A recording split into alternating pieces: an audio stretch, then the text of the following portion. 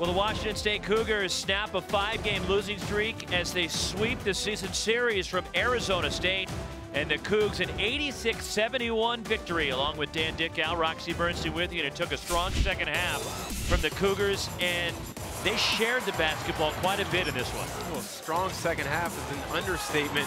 After having problems with turnovers in the first half, did a much better job of taking care of the ball and finding teammates and making easy plays for each other in that second half, leading to transition opportunities, whether it's at the rim or whether it's at the three-point line. But you got to give them a lot of credit because they could have just packed it in at halftime when they struggled.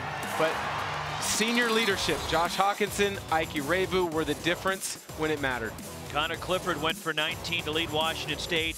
The Cougars with 28 assists on 35 field goals in the game and outscored ASU 43-22 in the second half as Shannon Evans led Arizona State with 21 points in the game and their minus two game winning streak comes to an end as the Cougs get their fifth conference win knocking off Arizona State with some hot shooting 59% from the field for Washington State. For Dan Dickau, Roxy Bernstein reminding you keep it locked on pac-12.com all season long.